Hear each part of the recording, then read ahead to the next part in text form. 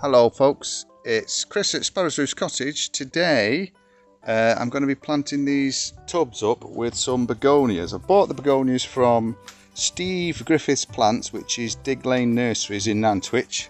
He always has a brilliant selection of uh, real quality bedding plants, which is great, so thanks to Steve. Uh, and I'm going to put four in each pot and then we'll just see what they look like and they're probably going to fill those pots with a, an abundance of colour throughout the rest of summer. So I'm just going to pause the camera, put them in and then come back and you can see the finished results in a few seconds.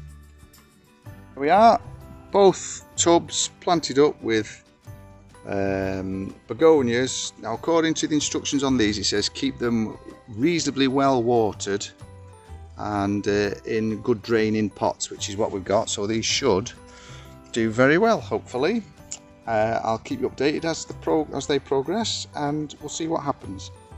Uh, goodbye